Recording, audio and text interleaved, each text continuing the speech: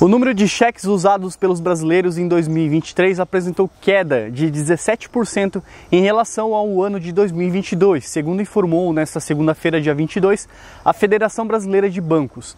No ano passado, foram compensados 168,7 milhões de cheques.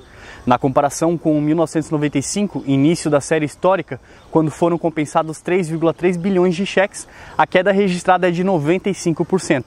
As estatísticas têm como base o Serviço de Compensação de Cheques COMP. A entidade disse ainda que, em relação aos cheques devolvidos sem fundos, o total caiu de 15 milhões em 2022 para 13,6 milhões no ano passado, uma redução de 9%.